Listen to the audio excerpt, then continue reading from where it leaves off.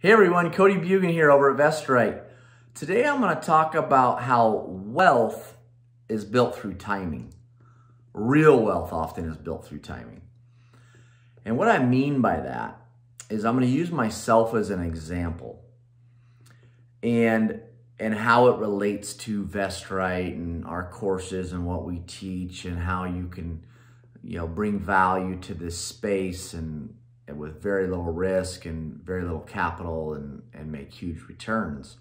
And how that strategy protects you in the market trends, right? So if we if we head into a down market based upon your limited exposure, okay, that you should be able to quickly pivot and shift to make what you're doing relative to the economy or marketplace that we're in at that moment or in that time.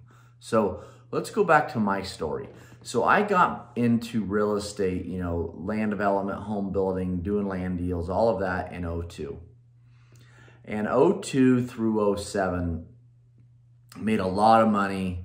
I was in my mid 20s, thought I was the man, today I can look back at myself and laugh about it and call myself that I was a snot-nosed punk kid.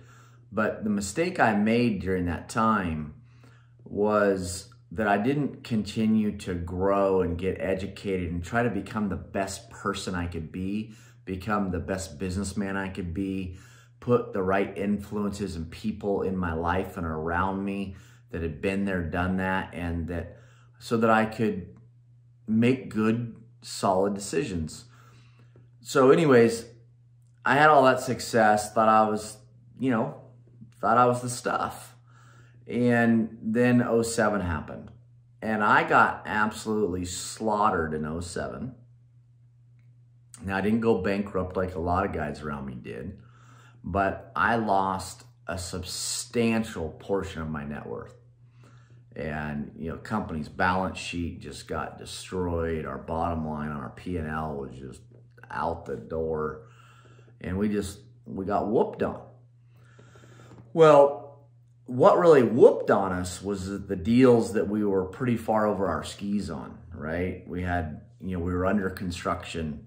We had a bunch of debt. We had a bunch of capital invested. And because of that exposure when the market turned and it turned sharp and hard, it it um, it just slaughtered us. Well, so here's where wealth is built through timing, and here's where I made a mistake. And as before I go into that, I want to make sure it's very important that I share that I don't really believe in regrets. Um, I am thankful I went through that downturn. I am thankful I got whooped on because it made me a better man today is, is I learned so much more money losing it than I ever did making it. And I am now that much more of a warrior. I am that much more of a, a businessman. I'm ready to battle. I just, my skin's thicker, my armor's thicker. And I just, I'm just a better man because of it. So here's though what happened. I was so focused on surviving, keeping my head above the water, like making it through it, that I, eh, you know, in dealing with the assets I had and repositioning and personal life and just all of that, that simultaneous to focus on surviving and making through it, I should have had, I should have been taking down all the opportunities and put myself in a position with investors or whatever where I could have been picking up those distressed deals. I often call it blood in the water, blood in the streets. Sorry if that offends you, uh, but I was spilling blood in the streets left and right when I went through that.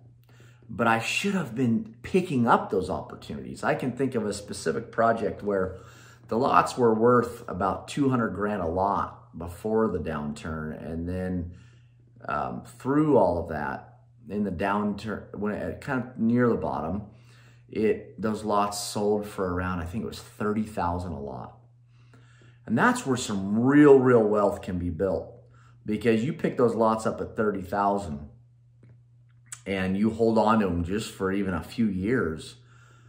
You know, those lots today and this is but my point is those lots today right now are probably 225. But the real wealth is built, in my opinion, buying in the low and selling in the high.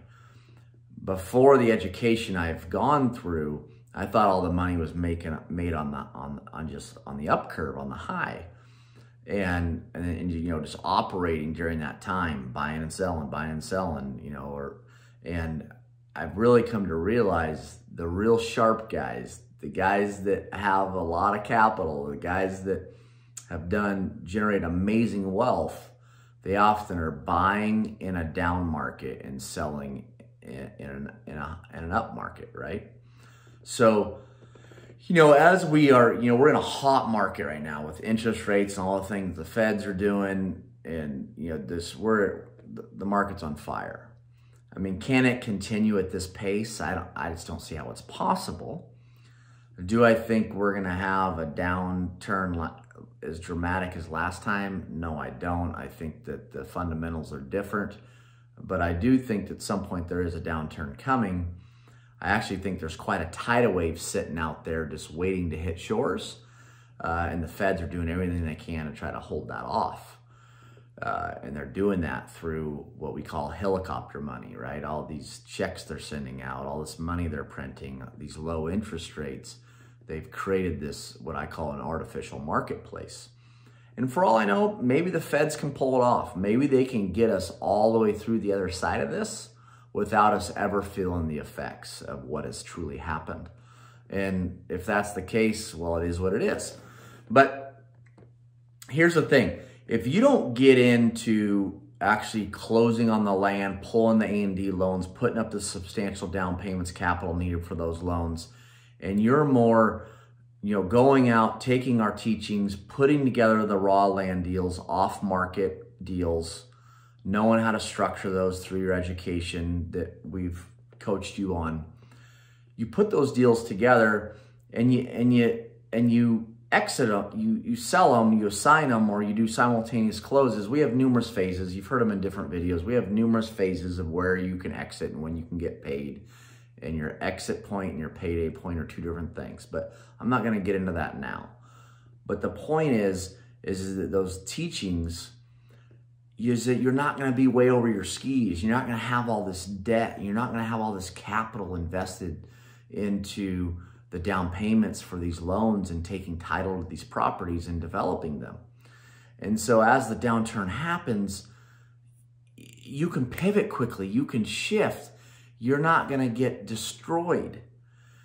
And you can then start looking for the opportunities where the distressed opportunities are where you can put together great deals and you still don't have to have a substantial amount of capital or risk. You're just shifting. You're just pivoting to now seeking out these opportunities that exist based upon the market we're in at that time or where the market is headed.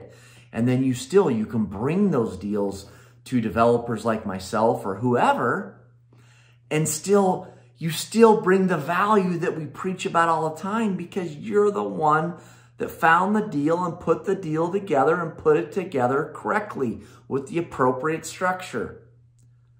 So the biggest takeaway here is, is, is that fun, some really fun, exciting things can happen actually in a down market versus an up market. And you as a land acquisition specialist is what we call you as a certified land acquisition specialist once you complete our course and go through the process with us is you can you can you can create some phenomenal paydays in an up market or a down market. And the thing is is is that you aren't going to take some of the beatings that those developers might take when the market shifts. So anyways, I hope that is of some value and and it's really what's exciting um, about uh, about these strategies. So with that said, take care. I appreciate being a part of your journey. I appreciate you just allowing me to speak into your life in one way or another and, and the little nuggets you can pull from these videos or through spending time with us means the world to me. So anyways, appreciate you. Take care. Bye-bye.